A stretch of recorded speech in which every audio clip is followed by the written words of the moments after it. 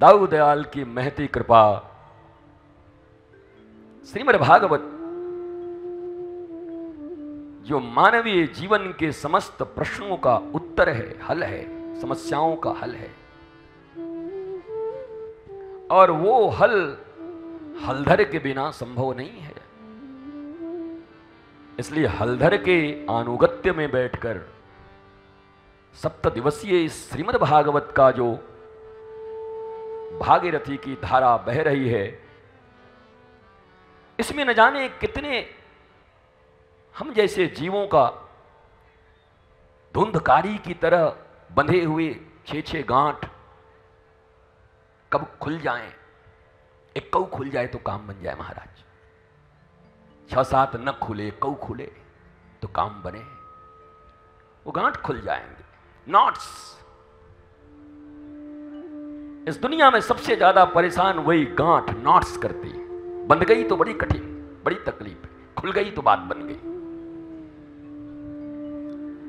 भगवान के ऊपर लगे आरोपों को भगवान ने कितने सत्य का उद्भेदन करते हुए, न झगड़ा, न लड़ाई, न कोई ब्लेम, न कोई गेम, आरोप लगा है तो सत्य को सामने ले आओ। और भगवान ने प्रमाणित भी कर दिया। सत्यभामा के रूप में योगेश्वर भगवान को अष्टदा प्रकृति से एक प्रकृति भी मिल गई। अब एक आज के दिन में जो सबसे प्यारा चरित्र है, वो सुदामा जी का है। प्राय सभी भागवत के वक्ता भागवत की कथा में इस चरित्र को समास या व्यास विधि से कहने का प्रयत्न करते ही हैं। जो कथाएँ बड़ी प्रचलित हैं, उन कथाओं के सार तत्व को लेना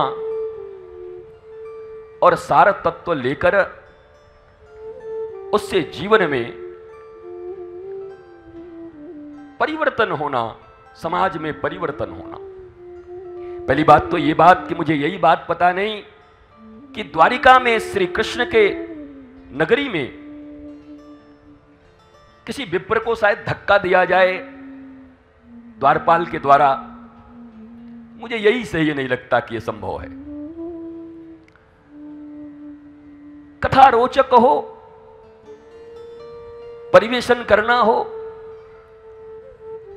परंतु उस युग में हुई उस कथा, घटी उस घटना को,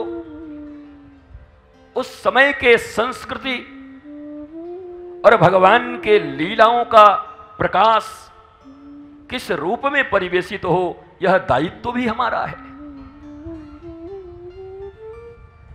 जहाँ तक मुझे पता है कि द्वारिका में ये पहले से बताकर रखा गया कोई वृद्ध बालक, विधवा, दुर्बल और विप्र को किसी भी समय द्वारिका के राज्य में रोक नहीं था, वो सीधा जा सकते थे। इसलिए कल आने वाले भगवान की महिमा और भगवान की दया तो बड़ी अच्छी बात है। क्या हो गया मैया?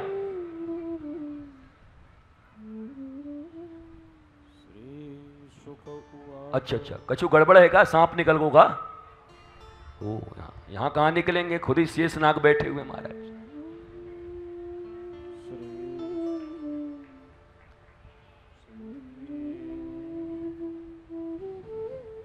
तो उन बातों को भी सही स्वरूप में रख पाना जो प्रथम दिन से ही मैं आपको कह रहा हूँ कि आने वाली पीढ़ियाँ बहुत सारे प्रश्न करने वाली हैं। और हम मुट्ठी भर रह जाएँगे। मुट्ठी भर में ही जवाब लेंगे, सवाल करेंगे और इसी में खुश हो जाएँगे, ताली बजा लेंगे। रह जाएँगे इतनी। वो जो व्यापकता जिस वसुधैव कुटुंबकम की बात की गई, हमारो टीवी में थोबड़ा ठीक नहीं आ रहा है। जय हो महाराज। बीच बीच में बता दे महाराज। गड़बड़ चेहरा आया तो हम फिर हम क्या करें? हमारे स्वामी श्री ग्रीसानंद जी महाराज हमारे इतने प्रिय हैं कि हम झुक के उधर चले जा रहे हैं। लग रहा है कब खिंच के वहाँ ना पहुँच जाए हाँ वो दाहिने साइड हम चले जा रहे हैं। हमारा आपका प्रेम, आपका स्नेह मेरे प्रति अत्यधिक रहता है। और जब हम बहुत अस्वस्थ थे इस शरीर से, तब भी स्वामी जी सदा एक संत की भांति, एक सच्चे हितैषी की भांति, कैसे ये शरीर स्वस्थ हो और पुनः लोक सेवा कर सके, इसके लिए तन, मन, धन, हृदय, प्राण सर्वरूप से आप सदा खड़े रहते।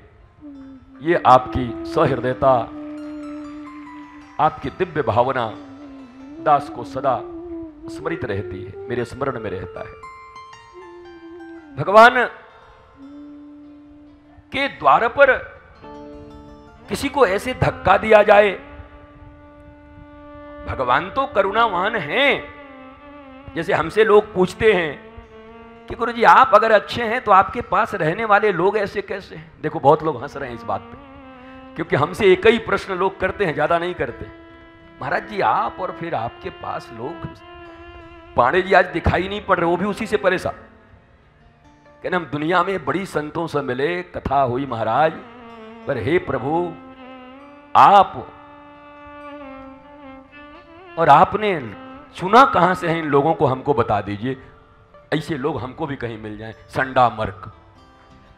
महाराज तो सबकी यही बात होती है कि आप अच्छे हो तो आपके पास ऐसे कैसे लोग हैं? तो कल ये भी प्रश्न होगा, श्री कृष्ण अगर विप्रधेनुसुर संत हित आए हुए हैं तो वो कैसे द्वार पर किसी विप्र के साथ ऐसी घटना हो जाए कि उनको धक्के दे दिए जाएँ, वो गिर जाएँ, लड़खड़ाने लगे गिड़गिड़ाने लगे then how is it possible it's not good ये ठीक नहीं है. ये कल प्रश्न पूछा जा सकता है। भगवान के द्वार पर ऐसे कृष्ण के द्वार पर ऐसे।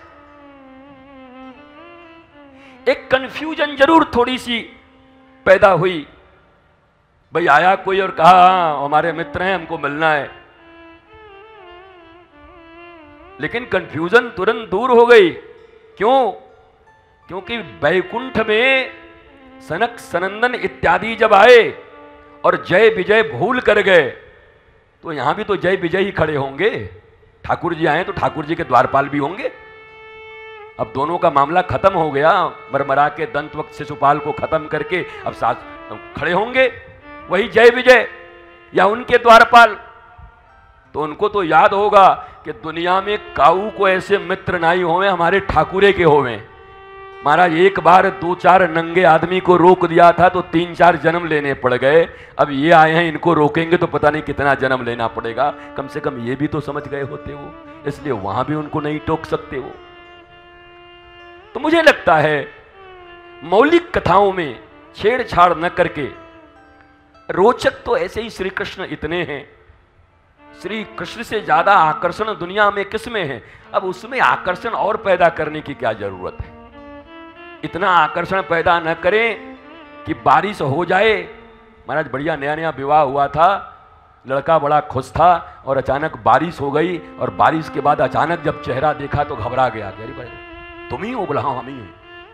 और ये महाराज पूरा मेकअप बह गया। वो तो गिर गया धड़ाम से ना। बोला हम क्या देखे थे? क्या निकल गई? तो, तो बड़ी गड़बड़ बात है। तो ऐसा ना हो कि रोचकता के चक्कर में भगवान के मूल मर्यादा और तात्कालीन संस्कृति, तात्कालीन व्यवस्था श्री कृष्ण के युग में।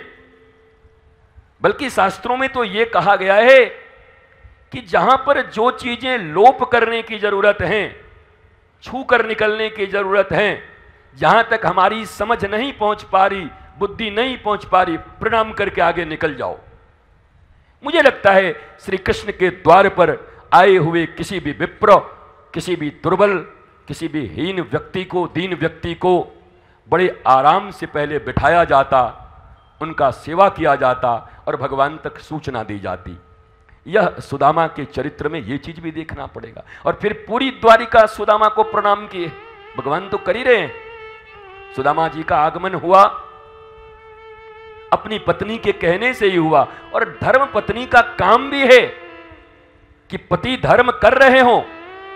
परंतु साक्षात गोविंद से मिलने में अगर कोई संकोच हो रहा हो तो उस संकोच को दूर कर धर्म पत्नी अपने धर्म युक्त पति को रामो विग्रहवान धर्म साक्षात धर्म के पास भेज दे। यह प्रत्येक धर्म पत्नी का कर्तव्य है, जो सुशीला माता ने निभाया और सुदामा जी को भेजा द्वारिका में।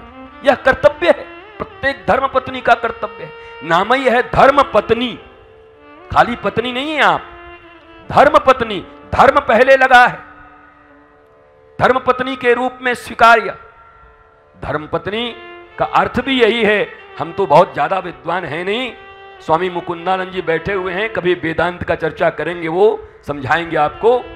लेकिन इतना ज़रूर कह सकते हैं कि धर्म के पथ से न तो स्वयं अपना पतन होने दे और न अपने पति का पतन होने दे, वही धर्म पत्नी है महाराज। सदा धर्म के मार्ग में उत्थान और उन्नति की दिशा को अग्रसर करती रहे, वही धर्म पत्नी का कार्य है।